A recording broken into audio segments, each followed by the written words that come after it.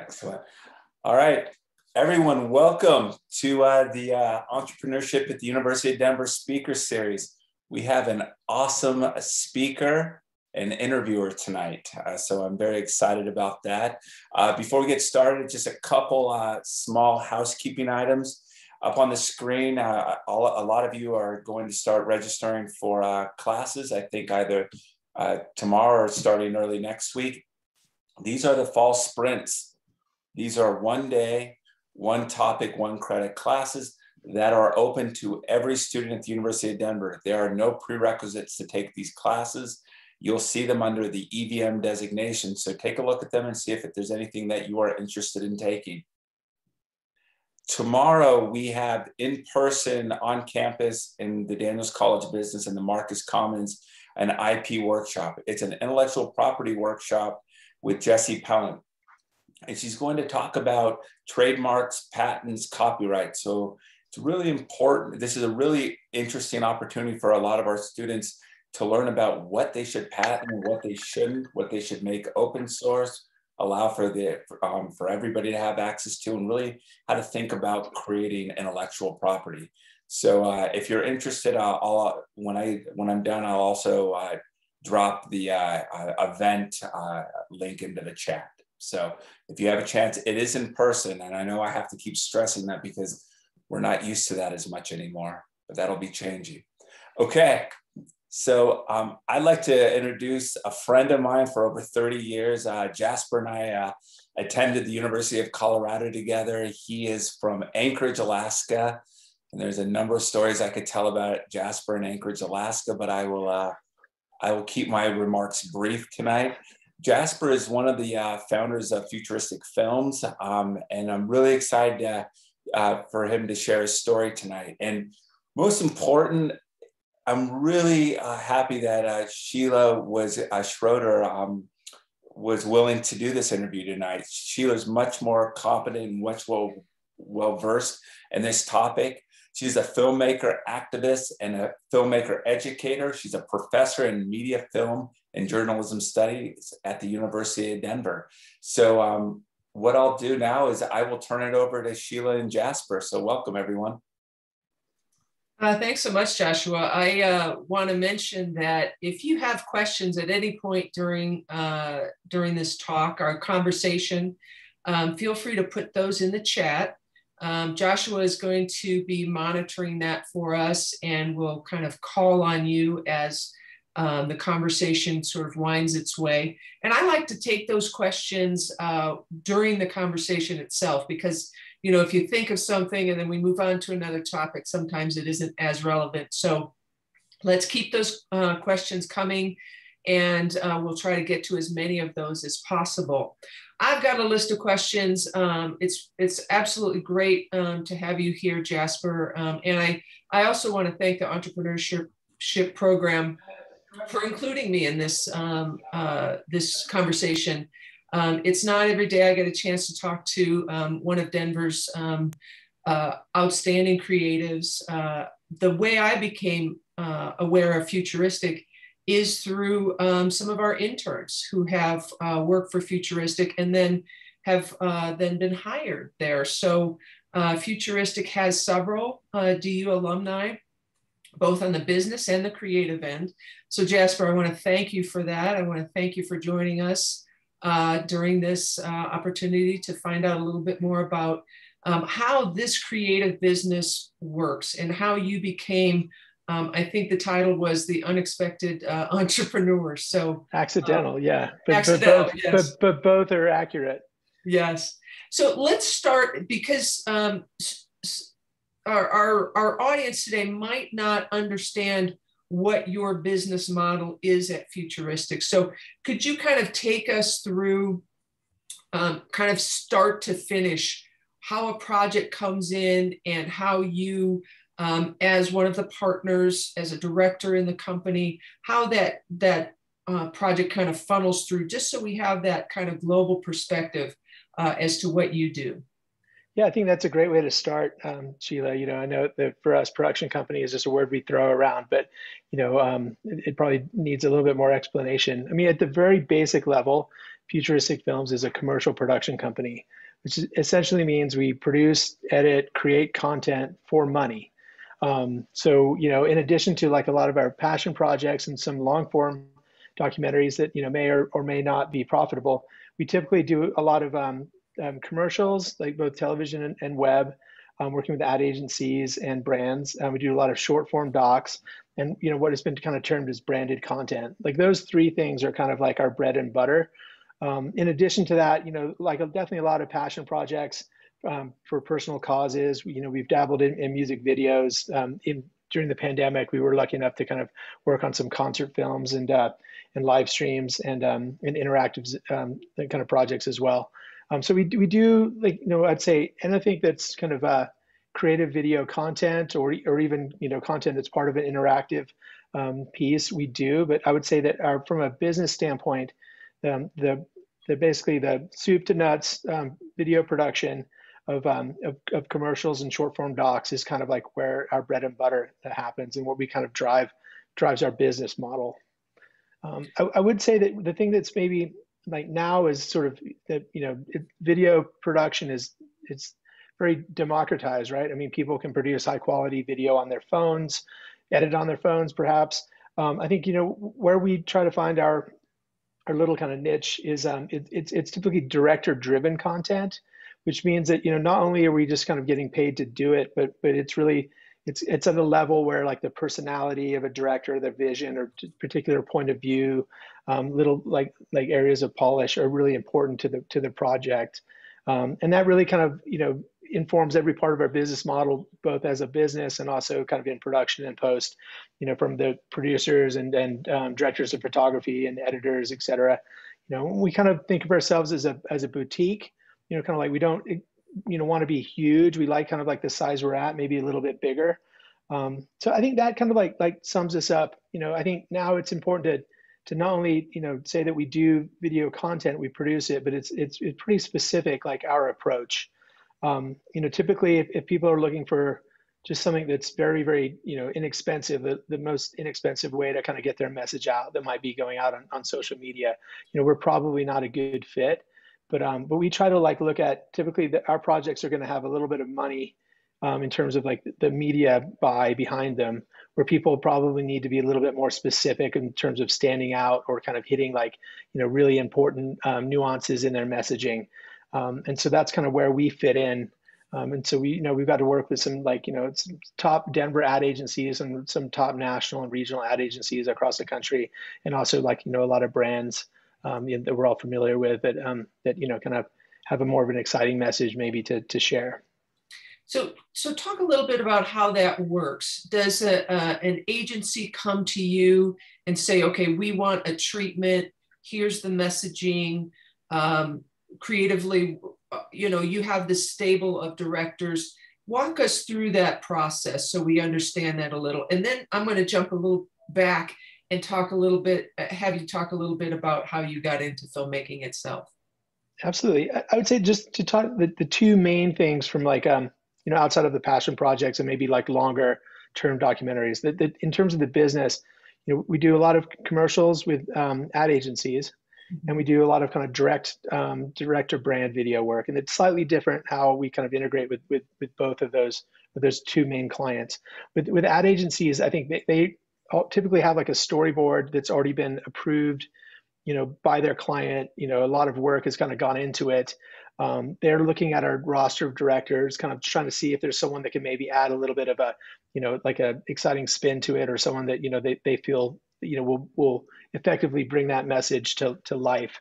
Um, so they'll look at look at our list, or we'll kind of put a few people out, sort of share some work back and forth, see if there's a good fit, and then uh, it's sort of typical that that those um, kind of customers would kind of like bid out three different companies. It's kind of the magic number. Um, in which case we'll have a creative call. Um, hopefully that goes well, and and then typically a pretty involved treatment, which is a you know like a proposal. You're talking about how you would you know take like this this storyboard and, and bring it to life you know what kind of aesthetic you think are, are important and then that goes along with a pretty detailed bid you know um, typically like on the low end of a, of a commercial it's around you know i mean very very low end um, would be like around 50000 and then they kind of go up for us, you know, for like a full campaign, maybe of like three three spots like we did for UC Health to around like the four 450, you know, just under half a million for um for for like that that amount of content, you know, and uh, additional stuff. So they take it super super seriously, and and even though they're only you know 30 seconds or 60 seconds, it's something that we you know we really enjoy you know taking that seriously and. Uh, you know, it, it's funny we say that, you know, it, it, we're not saving lives, but, you know, it, it sure feels like that way in terms of like how seriously we take all of these things. And then um, with a brand, it might be a little bit different. Whereas, you know, they'll kind of come to us more for the, the creative, you know, um, to kind of typically they won't have a storyboard. They'll just sort of have like, here's our need as a brand. You know, you, you know, we'll get a sense of kind of who they are through either their other marketing materials or through our own research. And um, and often that'll kind of be around a, a short documentary or a story um, and we'll kind of like work more with them like over a longer period of time to kind of build out kind of like the full creative. But it is amazing i would say like how much you know of a difference between even like a locked storyboard from an ad agency to um, to like how what we actually shoot um, you know just um, I, I think you know people like sort of think it's like you know we don't do any of the creative work but actually there's like a lot of um, whether it's budgetary or, what you can or can't do. But typically, I think it's about like you know we are experts in in telling stories through the visual medium of, of, of film and TV, and um, and even the the best intentioned storyboards kind of need that point of view to get effectively produced and finished.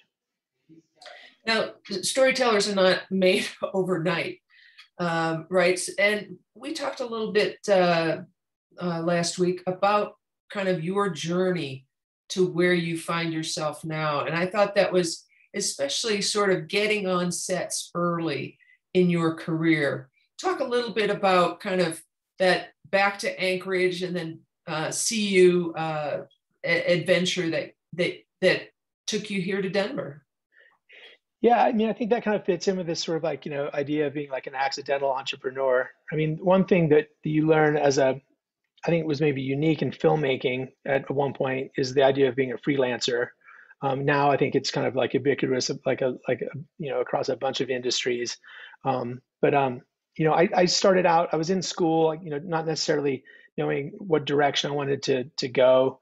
You know, had some interest in engineering, had some interest in in different sort of like photography, and um, I was just like asked by a friend of my father's if I wanted to go to work with him one day over the summer and and he was working on a like a really cool um, commercial set in uh, in Anchorage, uh, just outside of Anchorage, where this British company had come over to shoot like I think a Kellogg's cornflakes commercial.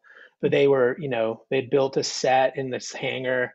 Um, they were flying to the glacier to, you know, get shots of, of the glacier and, you know, dropping cornflakes out of planes with little parachutes um, and I was just kind of like struck by it. Um, I think I, I, mentioned to you when we chatted the other day. I was I was also impressed by the the snack table that they had and and uh, and all the amenities there and and you know all these different people. I think the thing that really kind of stuck with me though is just like a bunch of different people.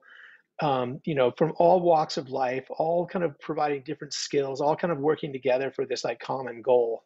And um, I think that you know magical day where I just you know just kind of got a chance to go and and the you know, the, from a kid growing up in Alaska, um, you know, I didn't really think that film sets were something that really existed, you know, or a place where I, I could go. So like that um, access was hugely important.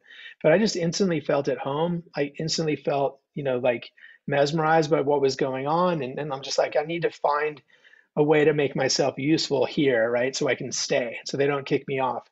And this um, lovely woman who was a amazing props person who'd worked in movies for, for years and, and ended up uh, like um, you know, sort of living in, in Alaska somehow. Um, she said, Hey, do you need something to do? And I said, Yes. And she said, What we need you to do, this is super important, is we need you to look at all these boxes of cornflakes and find the best ones. And then you're going to put them in the bowl, and like this is the cornflakes that you know that are going to be on camera, the hero cornflakes, as we say in the business. And uh, and you know, while it seemed like a menial task, I I took to it like you know because I just wanted to stay for lunch and um, you know, and I, I really have kind of been in and out of sets ever since, and and and the attitude I had that day, and also I think just like the the, really the the straight up love I had for being on set and, and being a small part of that team then, and now leading it now is has uh, you know allowed me um, to kind of keep going. Um, so that's how I, I guess I guess my first experience. Um, then I got to go back to CU Um, there was a great film school there. I, I went to film school there, um, came out with more of an experimental degree, but I kept working on set. So I was always able to kind of build like that business experience kind of while I was like learning kind of the art of filmmaking. While a lot of my sort of, I would say, you know, friends from school sort of had a bit of a tough transition kind of coming from like the academic sort of, you know, everyone's an artist to, to sort of like the hard knuckle sort of set where you know where it was more about getting things done. Like i think that having that balance from early on really helped me. Um, and and so i kind of went right from school into you know the low, lowest levels of the film production but still like as you know a young professional um, i started out going going into the camera department when we were still loading loading film. I was a film loader. I did the slate. Eventually I, they let me near the camera to, to sort of be the focus puller. And i and i ended up shooting and, and then directing um, and that whole time, you know, we are talking about freelancing. It's like you're, you know, as a freelance person, you are sort of an individual business. You know, everyone was sort of like, you know, forced to like learn, you know, how to do your taxes, um, how to make sure you pay your taxes because you know they they don't they weren't taking out that that money as if you had a regular job. You know, that was a surprise at the end of the year, um, and you really kind of had to hustle um, to get yourself work to sort of balance your schedule um, all those things. So I, I think it was, um, you know, when we start when we start to talk about about you know, the business and when we started Futuristic, I think it was really important for me knowing really nothing about business, but having an opportunity to kind of like learn and make mistakes when it was really, even though I didn't know it at the time, like running a business of one. Um, and I think that that those lessons you learned as a freelancer are important for anyone going into um, you know, filmmaking definitely, but really any kind of like, you know, media, um, and, and really in, in industries that, you know, that I'm surprised almost that there's a lot of freelance in these days. But um, I think it, it is really, really important um, that you, you do treat yourself as a business, um, even if you're just an individual. Well, there's, there's, so, it seems like there's so many transferable sort of skills from, you know, being in that team atmosphere on a film set and then being you know a partner in a company. Can you talk a little bit about um, those synergies? Yeah and absolutely. I mean i think that's that's that's dead on. I think that you know particularly when we first started futuristic all of our lessons had come from the, the group i started with at learning on set. And i think that the magic of being on set is you just have like a group of people with like you know it's kind of like the a team in a way right? It's like you have all these people with these different skills and they're coming together for like maybe a few days, maybe a week, if it's like a feature film, like several months, but they're coming together to like make something as, you know, as amazing as they can. And, and really like the, the kind of collaboration um, that, and, and the way that they can like literally work together and move mountains you know, I mean, even worked on sets where, you know, people literally did not speak the same language. Like, you know, like we had to work with a Korean crew, but yet through the language of film and just everyone kind of knowing their job and their place, you're still able to kind of like, you know, come away with great work. Um, so seeing like that, um, you know, kind of work function, you know, really kind of, you know, inspired, I think, you know, the way that we wanted our company eventually to sort of exist as a culture. But I think you also kind of like learn, you know, the kind of the some of the business lessons that are super important is that, you know, you're also working with lots of different companies. And so getting paid, getting paid promptly is like super important, uh, you know, to a freelancer. You know, you don't want to be chasing these companies. You're also doing a leap of faith in terms of like, you know, you know, are you going to get paid? Is, you know, is this company reputable? Um, so I think, you know, for us, you know, like learning like how important like that little bit of, of, uh, you know, important step was to make that kind of clear has been part of the ethos that we've brought into futuristic films. Also, I'd say like a level of respect you kind of give everybody. Um, we're forced to work in really close quarters. Again, with you know, people that maybe you you've only some people you've known for years, some people you maybe have met that that that morning. So you kind of learn how to work like in a very respectful environment. Um, and and and also you kind of need that structure of, of everyone knows what their place is in terms of like they're part of the process and then has immense pride in, in, in doing that well. Um, and that's how film crews kind of like work, you know, whether it's like a, you know, small documentary crew or, or, you know, when you like look at the behind the scenes or the credits of a huge feature film. Um, and so like, like doing that. And again, it's, this is like day in, day out, like every week working with a slightly different team, you know, maybe even like, you know, traveling to, to different places or different countries. Um, and I, I think that the way that their film crews are able to come together so quickly and work so efficiently, and you know, at the end of the day, like you know, large you know amounts of of, of money, you know, it, have have changed hands in the, in the way that of you know of business.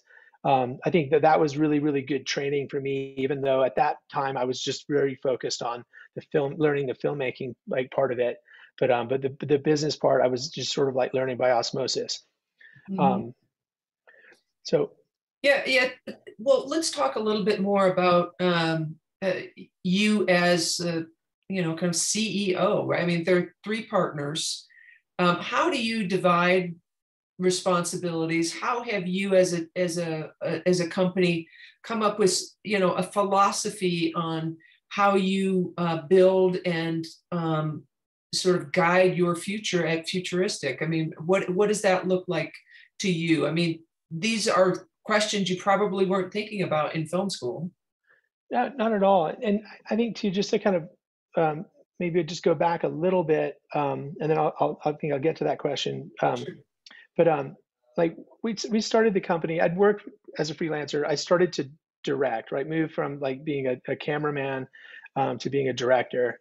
And I at this point like worked with you know very closely with you know all the, the top production companies in, in Denver, a couple in California, and and you know once or twice with like you know hundreds of companies. So I had like strong opinions of what I thought I wanted to do, you know, from a business perspective. But I mean, the real reason that we started Futuristic, or I became one of the partners, was that I felt like I was looking around Denver, and I I didn't necessarily want to move or be forced to move to the coasts. I felt like there was a, a great places to have a career here. I was getting lots of, of opportunities, but I didn't see necessarily like a, a business that would be suitable for me as a as a creative person to kind of fit in. So I felt the need to start one. And and we started that at the time with, with two other partners that I'd met working on a movie. Um, and we all had slightly different skills, but mine was sort of like knowing the commercial world and knowing how to shoot and direct like television commercials. So we started it really as a way of kind of like, you know, going from project to project you know, sort of, you know, which isn't necessarily it's again, this is the beginning, not not how we've evolved. But you know, really kind of thinking of like those lessons of what we learned on set and being efficient and how we would sort of do, you know, one after the other. And so we were in a way, it was very efficient and and you know good but it was again it was very very limited as well in terms of like as we started to grow we had to not only like take those those i would say ethos there's there's lessons that we learned you know from the set perspective from one project but like learn over um, you know time how to kind of make that into like a proper company and a and a company that you know that you that doesn't rely on you know every partner being there all the time to get things done. And and that's been the transition i think that's kind of gone from like you know being a casual observer of business and kind of like you know like appreciating the hustle to over you know, was it 2007 you know like 13 14 years to now where like you know i'm not saying we've made it all the way but like our focus is much more shift on like being like a fully functional business. And like today you know i we have a, a, a shoot going on this very talented um, um, woman elizabeth orn has come in to, to shoot a commercial. It's um, it's like like you, hopefully people won't be running in um, by the end of our, of our lecture but they probably will um, you know, out at kind of this farmhouse for one of our clients. And you know, from as a business perspective, the fact that that's all happening without me there at all, but I know it's going to be the quality I'm proud of. I know that it's going to have like the feel of a futuristic production in terms of like you know those ideas of respect. Um, you know, um, everyone's you know just um, it's going to be a fun set. All those things that we really care about, and um, it, it, are all happening. And I think that, you know, even just a few years ago, I would either be there or I'd have to direct it to, to kind of, um, to feel that way. And right now, like, you know, this is maybe in the first, the first time the last couple years where, where, you kind of feel like, okay, this is a real business where those things are happening and, um, and I, I don't need to babysit or micromanage. So it's, it's been a long evolution to get there. Um, and there's definitely been a lot of lessons that we've learned on the way. And I'd be happy, you know, people have you know particular questions about that because it's definitely free to talk about the mistakes as well as the successes. But um, but it has been an evolution from sort of you know thinking about it from like that project to project to project to okay now we're actually going to run a business that you know projects end but the business will kind of continue to go and, and kind of keep moving forward well, how do you get to that place where um, you don't you don't have to be there uh, right. in order for the for the good work to happen? What is what is that mentorship process like? Because uh, you know, being in film myself, mentorship is very much a part of the filmmaking world. Um, it's very much a part of uh, entrepreneurship and, and, business, right? Um, working with somebody who has who has maybe been in a place where you want to be. So, how have you built that into your company structure? I mean, I would I would say that from a, the the days on, on on set and the days that we are focusing on the film production, the mentorship is completely natural. That's something that you know very very familiar with. I mean, I you know started out as an assistant to somebody, and you know they were gracious with their knowledge, and as they moved up, I moved up, and and and and likewise, and and so I think having interns around the business, um, you know, here was a natural fit, and we've got like I'm not joking, but you know, one of the best things that's happened to us is a, is a couple of DU interns that have come and, and refused to leave. Um, and one in particular, um, you know, kind of came in, you know, with a business perspective, and um, and he was just fascinated. He wanted to work at a creative business, and he had just finished his MBA program at, at, at DU, and he kind of came in. He's like, "No, I want to intern." We're like, "You have an MBA?" He's like, "No, this is a company I, you know, I want to work at, and uh, and I feel like I can offer you guys something." So of course we said yes and um, and luckily he's um, he's still here, and, and now he's basically running the full operations of the of the of the company from a business perspective. You know, outside of the of the of the of the of the you know the the projects and the creative part. Um, I, I think for part of our evolution is it you know allowed people like that to thrive by recognizing like what our personal limitations are you know in terms of like you know like you should keep me away from spreadsheets. You know you should keep me away from from you know making sure the check goes to the bank. You know obviously i care deeply about that and it's not about shirking that responsibility but it's just sort of like you know my skill set lies how i can truly help this company is is is in different ways. And so and and for my partners as well you know like finding not only what you do well but like but like what you need you know what would be best to not do um, I think that some of the biggest mistakes we made early on in the company is is the classic startup, right? Is when everyone just tries to do everything, it becomes integral to the every part of the production, and you think you're doing it. Well, in some ways, you are doing it because you know it's the lowest cost way to, to do things. but There's also a bit of, of ego tied up in that, or a bit of you know maybe just panic, or but but like the amount of things that, that we did for those first few years that we had to then like like extricate from our from our structure in terms of like you know if client pick up the phone you know they look for me and that's not necessarily the person they should be talking to. They should be talking to a producer or a scheduler because i may be on set or i may be you know like um, like doing other things or you know or i'm going to be unable to kind of like to put together a budget for them. Um, but things like that you you kind of you you make i think um, you know to, to go back again to a startup phase it would be like to literally to really identify where you want to be and how your structure wants to to sit in five years. And and even if you're wrong there's still a target to go to. And um and and but really actively go there even if it means you know maybe spending a little bit more money or a bit, bit more resource or giving up a little bit more of your company um, to um, to to people who are going to be a better fit for that moving forward um, I think that that's super, super important. And we have been really fortunate, particularly with this DU grad, you know, Mark um, Shelton, that, that, you know, has come in and, and sort of like provided a place for us to sort of, you know, now, you know, now he essentially, you know, he, I think his title is, is like vice president, but essentially from a, a business standpoint, he's running the whole thing. And that's freed me up to, to, to work on creative. Uh, my partner, Sarah Lyles, to, to oversee our production department. And my other partner, Frank, who's one of the other directors, and it's it's led us sort of like from the that trifecta just kind of grow into a company now where we represent you know I would say you know like seven or eight directors. Uh, we have a full edit staff. We have a post producer um, to handle all of our editing. Like three full full time you know editors or assistant editors. Um, and then you know like a another executive producer and, and a kind of a full time production manager. Like the, we would have never been able to grow there without sort of someone taking on like the actual business projections, you know, all of those things. And so, you know, finding someone who actually really enjoys that. And I would say during the the last year, in particular when you know we're dealing with things like PPP and and you know needing to really like look at look ahead and, and see where our overhead's going to be as opposed to you know me just like you know going oh yeah we're on set so we're, we're busy or or you know things are, are moving through. You know was was I mean, at no time was it that more obviously important than that. Uh, but but having like that person really filling in the the gaps of things that you know I'm not the best at it, it's let me thrive at what I am good at and it's let the company just kind of grow beyond you know just sort of um, even the the skills of the, the of the partners now, you started your business in, during a pretty difficult time in 2007 during a recession. And now, um, you know, we're obviously in this um, new production environment um, caused by COVID, right? Uh, what have you mentioned this idea of kind of uh, letting go and allowing people to specialize, but what have been some of the other kind of um, economic challenges that you've had to face in the last, you know, I guess 14 years or so. And, um, you know, feel free to talk about some of the mistakes uh, along the line too. And then how, how have you uh, met those challenges?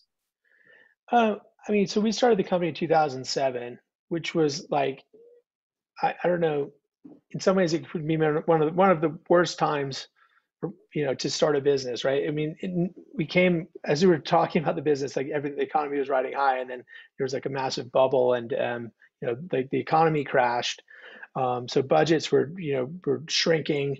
Um, and at the same time too and i think this is again you know i think of this as being unique to film but it's really in many businesses like the technology behind film production was changing massively. Like we started out shooting film like like you know like literal film and that was kind of like a level of quality everyone understood and and where we wanted to be. And then you know the the 5d which is this you know digital still camera which was you know just a couple thousand dollars came out and that was like you know what people wanted to shoot on. Editing went from um, you know big studios to laptops. Um, so all of that was changing like that year i, I think one of the, the the the hardest things about that is that we kind of did we definitely did miss like the the big money uh, like champagne and oysters kind of like you know stories that we always hear about about big commercial sets. But i think it it it it um it it sort of set us up to not only deal with like those change but to really understand you know change in in in budgets and economics and technology was just going to happen throughout the life of the company. So you know we rolled with it then but again it's like we never really settled you know into like this is how you make a film. These are the tools. It was always something that we are like looking at like what's next? You know do we need to invest in equipment? Do we need to rent equipment? Do we need to learn new techniques? You know like do we need to be able to not only make commercials at a very high level at a high budget but also be able to adapt with like the needs of like you know maybe a social media budget or the fact that you need you know like you know instead of like one main we'd say deliverable, but one main spot, you know, something that may, you know, spin into like, you know, 20 different like small social deliverables all around the same project.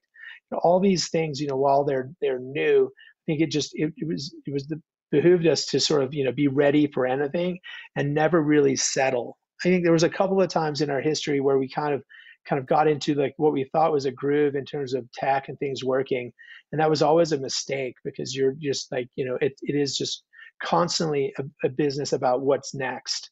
Um, and and I think again, you know, I'm I, I feel like this is unique to film in some ways, but it's really not. You know, it's really like all businesses are, are dealing with this the way that you know technology moves and and you know you know e- economies change you know constantly.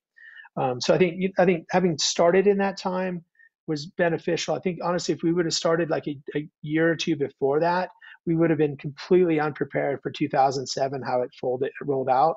And lots of, of production companies you know even some of the most established production companies in the country went out of business during that time because they weren't they were you know not able to kind of you know be that scrappy when they needed to be. And lucky for us we were small enough that we were already you know scrappy and um, we were able to roll with it then. And, and i'm hoping that you know we're in a position where just because that's in our dna that we're able to roll with it now uh, being yeah being scrappy pivoting right pivoting is the yep. is the word that it's I've the heard. new scrappy absolutely um, Uh, speaking of both of those, uh, we have a couple of questions from um, students, and I'm going to call on uh, David Painter first. David um, is a student of mine. He runs the production club uh, at the University of Denver. So, if for those of you on the uh, uh, on the call tonight, if you are interested in um, doing media production, David's your guy. So, David, take it away. Make sure you um, unmute yeah, thanks, Sheila. Um, thanks for the shout out and the plug for the club. Uh, uh, and hi, Jasper. Nice to meet you. Um, I'm a junior you. at the University of Denver. I just had a question. You were talking a lot about um, like your experience on film sets and kind of like your that like kind of being the Kickstarter into your career. And I was just curious. Um, one, like probably what was your like most favorite film set you've been on, and then also like some of the like more higher i was just curious like the highest budget project you had. Yeah. so that's something you can talk about and if like that changed your experience at all? Um, or if you like through the the company um, the highest budget project you've produced too. Yeah no problem. First i gotta shout out to your background. I feel it's very like memento or uh it's it, it, it's sharp looking. I like it. Um thank so you. yeah it's um so highest budget you know back you know when i was working sort of more of as an assistant as a cameraman i was working with lots of like you know national companies national directors. So routinely we would be on sets where like you know would be a commercial would be like likely around a million dollars for for one commercial one campaign. Um, and then you know i think the difference between like even though we've worked at, with with budgets that high at futuristic instead of it being like you know like a week of production of crazy production um, it would be like for like you know that would be like for a full length like documentary film where you'd be shooting like you know locations like all over the world. We did a we did a documentary with um steelcase which is like a kind of a big old school um office furniture company where we kind of like you know it was literally traveled you know different cities all over the world to kind of meet with their people and tell different stories. And so you know that was over the course of many months and, and that was probably around a seven eight hundred thousand dollar budget. Um and I know these budgets probably sound like really like like high but but you know that it is you know when you have to sort of start you know paying for every piece of music or get a, composer to do it um, you know travel a crew um, cast you know wardrobe all these things you know they sort of like what when I came out of film school, I was like, man, for like fifteen thousand dollars, you could do it and make a movie, and and and in many ways you can, um, but but when you start needing to you know have like you know five options for wardrobe um, you know, casting becomes a very, very specific process. Like, you know, the, the economics changes changes quite a bit. Um, so I think those are the two questions. You had one question beforehand, right? And I, and I missed it. Can you just repeat that for me? Oh yeah, um, just like like your favorite um, oh, favorite. film set that you've worked on. Yeah. And it's a hard question because the, the best thing about film production in my mind is that every day is totally different you know like you literally often get like a map to go to work. Like you get emailed a map and when we go location scouting now i'm, I'm in the pre-pro as well so like you know i get to go look at these places like first. Um, but you know it's like you know like a week or so ago i was on a farm outside of fort collins um, and it's it's a job that's really it's taken me around the world. So it, it, it it's hard to kind of say um, you know what my favorite is but i'd say as like by one of my my as a young sort of up and coming filmmaker, you know, and again, before I was directing, I got to work on a set with a six million dollar man, which you may not know, but but I know everyone else in the the older folks in the panel know Lee who that Majors. Is. Steve Majors, yeah, Lee Majors. Um, and the, the the cameraman on that had had just shot Pulp Fiction.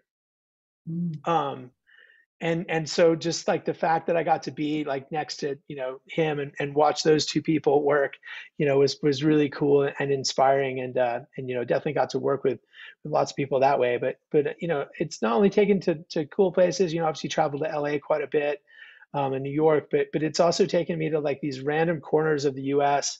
You know, like up and down the like Mississippi, um, the Mississippi River, like the, the there's like Blues Highway you know, shooting down there. And I never thought that I would fall in love with Mississippi. Um, but you know, we, we got to do a, um, a shoot, you know, kind of for um, University of Mississippi that sort of like introduced us to all these, you know, incredible um, blues artists and uh, and just just that kind of thing where you're like, I'd never in a million years plan on going here for vacation, but um, but you know, I've just had this amazing experience with the people who live here, um, and you know, those are the things I think that you kind of out of a film career, you, you maybe you know get and kind of spoil you. You get to kind of work with that, and you know because you're working so closely with everyone, you make like friends fast. You can make a lifelong friend in a couple of days, mm-hmm. um, just because of of how closely you have to work with, with anybody. And I, I, I just I think you know while we're talking about money, um, and obviously this is a business class, so or you know entrepreneurship, so it's definitely money questions are definitely not off limits. But I, I see Kevin had one about you know about you know you know how do we value our work you know um, and I think you know one thing is is that when we do budgets, they're not just pulled out of thin air. They're literally like extensive like line items, and and you have to go through them with your client. Like you know you know you know who do you want to be in your commercial, right? You see a lot of commercials where it's like the people who own the business, and that's not just because they want to be on camera, but it's also because they're free. Um, but you know, do you want it to be like you, you or your or a friend or someone that you know, like on the, the like is is the expense of that like the most important thing? Or or if you look at like an apple commercial where they're like you know for this commercial we want to you know have this amazing musician that represents our brand and stands out and makes a splash. And so you can see just even in the the, the casting of a commercial you can go from zero to like you know like negotiating a contract with a, a, huge agent where you're you know you're literally spending you know hundreds of thousands of dollars. Um, you know i think that's that's the kind of range that you're working with. And really like every decision that you have um, in a commercial from music right? Like i upstairs they're editing to this fleetwood mac song um, um, which you know for it's it's for a, a, a, bank in the south so it's just like a, a like three or four states buy but like that Fleetwood Mac song, you know, was in a couple hundred thousand dollars that was worth it to the agency to, to do that. But again, you know, you can have music that costs that's free. So every aspect you have like that wide range.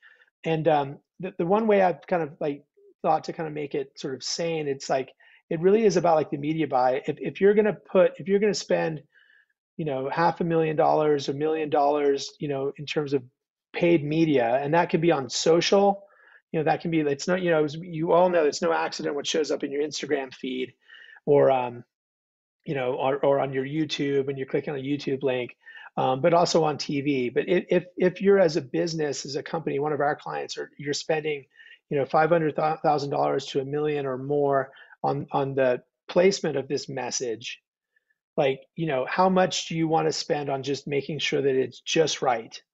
You know and i think that that that while that's not that's the upper end of the clients that we're working with you know that's i think gives a better sense of like why it's important to sort of you know spend the money for a business on on the messaging.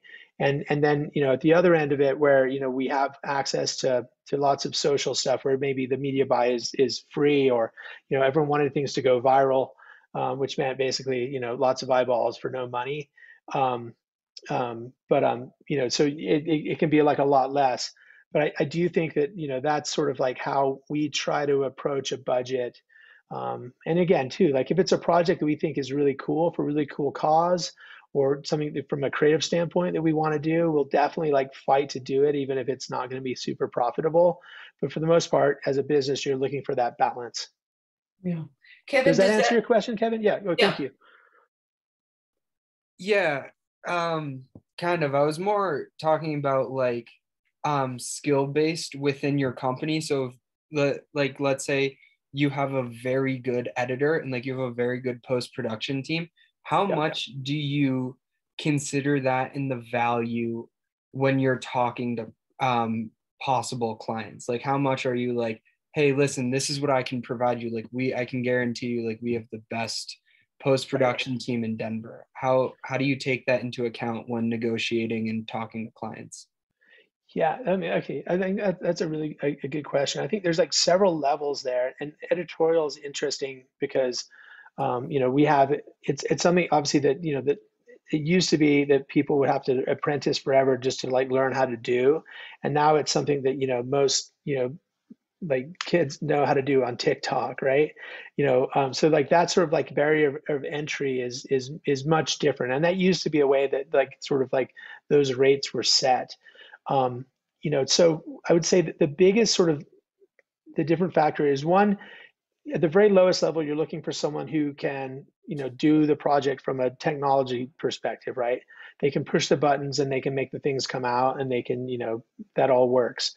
and then it's really like a level of going from like that as like a technician to being an artist um, you know um, one of our editors you know we're having to give like a raise to today um, you know he's moved kind of from being an assistant editor which means like you know entry level like you know like bringing things together maybe showing edits to like a different editor and, and uh, before they you know getting advice and being kind of handled you know. But as he's moved up and now he can kind of like not only put his own creative spin on that but also work with clients and be um, you know able to articulate those visions and and uh, and and people are going to come back not just to work with an editor but to work with with him um, you know and and and uh, and so you know i think that that's sort of like as your rate increases and then again like you know i'm i'm, I'm talking you know the same thing I'll say about acting talent or um, locations or or music.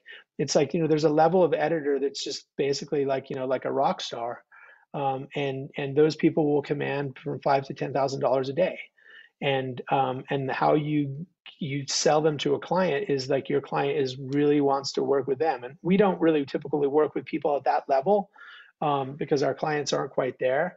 But but you know, there's those people absolutely, and and their reputation and their real, and perhaps even a little bit of you know in our business celebrity getting to work with with someone like that.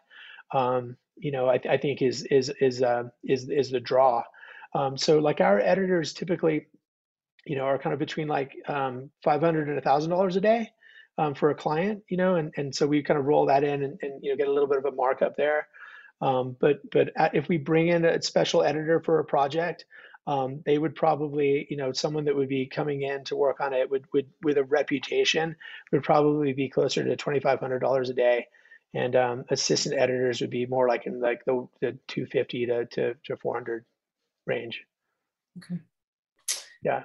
Jasper, I mean, this is a storytelling business, right? And entrepreneurs need to repeatedly in invent create right that story that they tell about themselves so how would you address you know this group of aspiring entrepreneurs creatives um, on how to tell their own stories well i think i mean to be totally honest it's like i think most of you guys and and um, and, and, and ladies, you know, everyone in the chat who's like, you know, under the age of 40 or probably have a leg up on, on all of us because I think, you know, the sort of social media and the ability of sharing personal stories and video and, and imagery is just you know for the most part it, or from my perspective seems like second nature.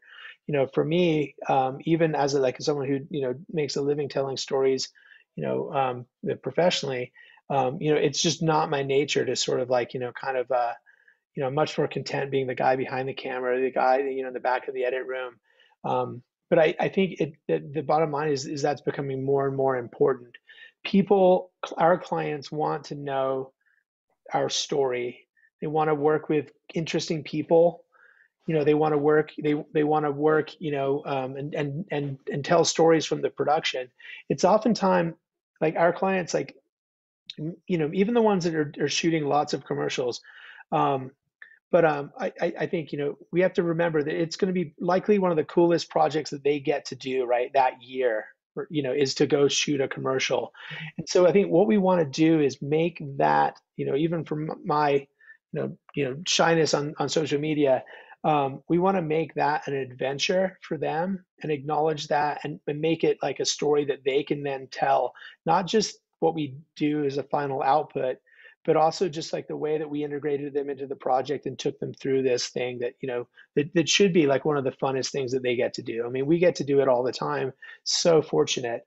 Um, along the way though it's like you know just absolutely you know needed to sort of you know get in into social media and and also make like a more of a personality presence with our website.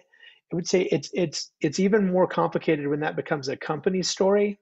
Like my personal story you know, starting, you know, how I did, going through film school, the films I've made, the films I've been paid to make, the ones I've chosen to make, you know, like who I am as a person, it's like easy for me to express. But now it's the company is not just me, right? It's like there's three partners, there's multiple directors, there's an edit staff. How do we kind of collectively tell that story? And and we decided that, you know, with our latest website, you know, even like three years ago, maybe that we wanted to sort of like really get our branding to reflect that and it was a process we had to you know it's like they say you know the cobbler's kids have no shoes. It's definitely like we had neglected that for many years and it was an important part of moving forward. And we did enlist um, like a friend's design company that specializes in in um, in designing but but also really kind of kind of getting to the bottom of who you, we are as a business collectively. Um, and so you know that was something that i mean honestly like it took about a year to kind of um, to to finish up. Um, but it was something that we all invested that much in and and uh, and and we got to sort of like really realize that you know what made us different.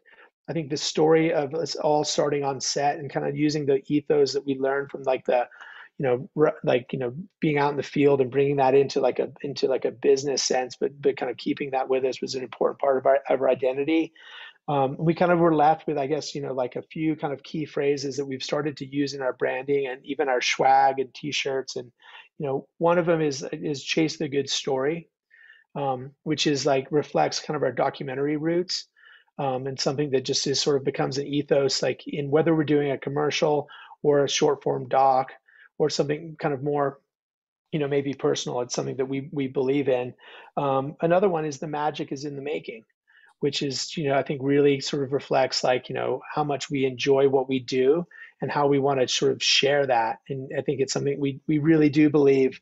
Um, and then the other thing more succinct is films we make them which i feel like really kind of sums up like what we do. And um, you know i just uh, i just we we have a new production van, and I just uh, I saw a photo of it on set with a with that logo on the side. So hopefully that doesn't encourage any theft, but but more is just like a, a statement.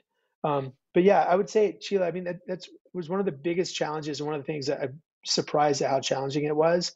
Um, but but I really felt like it did help to kind of like work with a team that was able to kind of get us to to really think about you know what made us unique as a as a collective and I, I do feel like if we would have thought of that sooner, it would have been easier. But we were sort of like looking back, you know, from almost like a little over 10 years into being the company and, you know, the ups and downs and all the people joining and, um, you know, um, and going like, oh yeah, like we needed to talk about like what's our ethos. And I, I feel at the end of the day, it was like we we we had one that we just didn't know how to articulate it.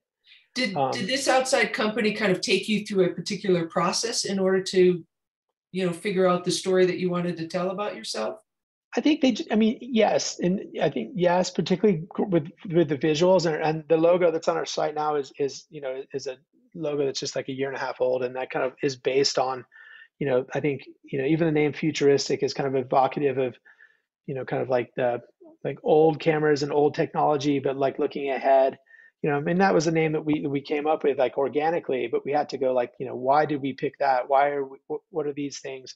So it helped have an outsider like kind of like leading that, you know, therapy or discussion.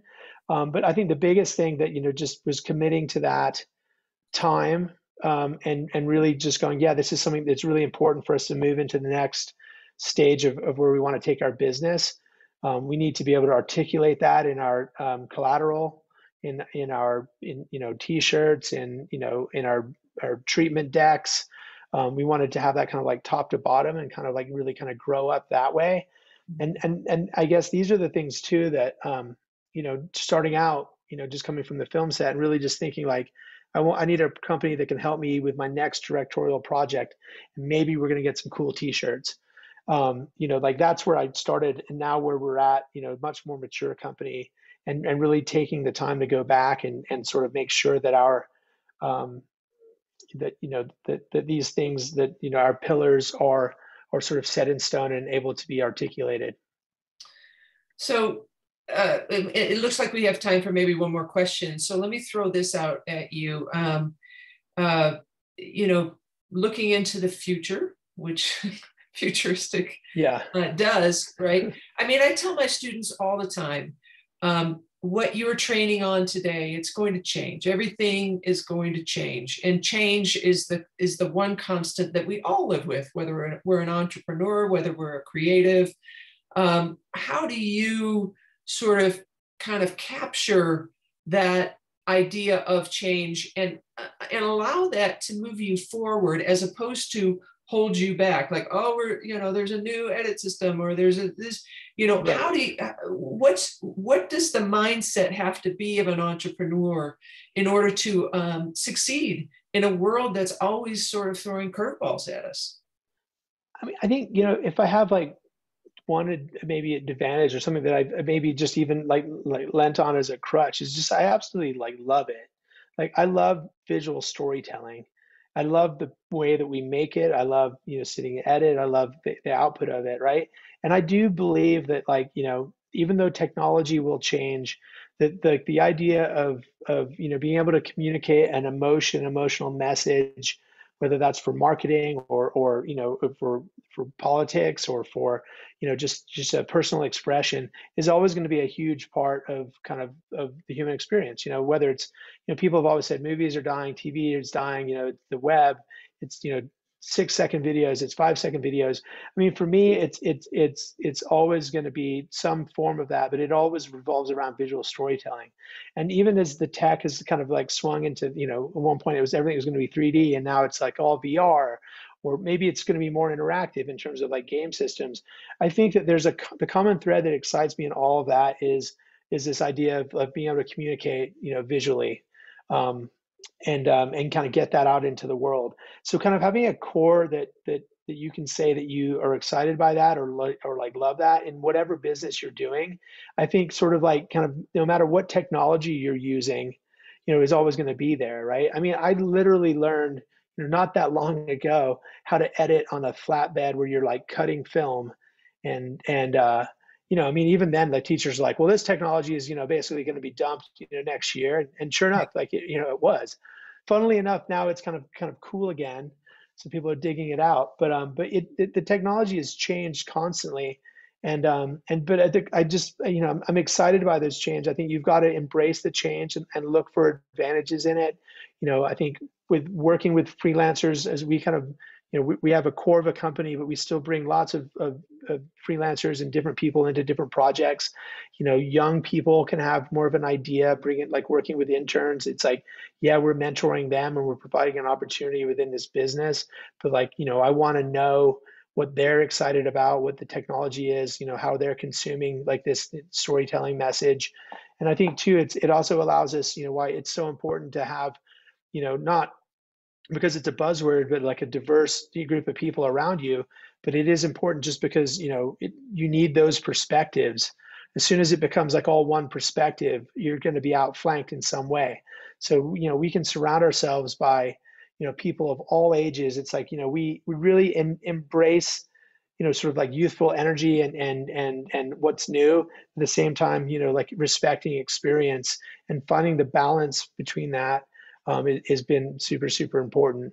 So I, I think yeah, I mean if if if you're going to be in any business as an entrepreneur and you're afraid of change, that's going to be be bad. I think the, the biggest thing I can say is like is find something you really love or something that you can really you feel that you can do differently or add no matter what that is if it's directing if it's like running a business if it's you know like a like an idea on on whatever cryptocurrency is whatever it is if there's something that you that you are passionate about you know find you can find a way to wrap a business model around it uh, but you just have to be honest with what you are doing that's new and what your what your strengths and weaknesses are. And and also you know be make sure it's like a, a core value rather than you know like a piece of one piece of technology because the technology and the method are probably going to change but like those core values will probably not. Well and it's clear that you have a passion and a love for what you do and I, I appreciate you very much for sharing that with us today. I want to thank joshua and the entrepreneurship program for this wonderful series um, the opportunity to be a part of it. Um, let's um, uh, put those thumbs up, um, the claps, um, happy faces. Thank you, Jasper, for for spending this time with us. Yeah, yeah, and and I haven't given a, a, enough shout outs to. I, I, gave a shout out to Mark from, from DU, but we've had several amazing interns from from DU that have become you know the core of the company or moved on to do amazing things. So um, I I do feel like when when when when Josh asked me to do this, I felt not only a, a debt to my old college friend, but also a debt to to DU for providing us with such um, amazing people and um, you know, in, in, the case of a couple of them, people who are who are still at the core of, of our company. So yeah, thanks and, to you, yeah, and, uh, and, thank you guys all. Yeah, and I I know some of those uh, former students of my own, and so thank you on behalf of uh, the Media, Film, and Journalism Studies Department. Absolutely. All well, right. You guys have a wonderful evening. Enjoy the sun while it lasts. Thanks everybody for showing Thank up. Thank Bye, you, guys. Joshua. Thank you. Thank you, Joshua.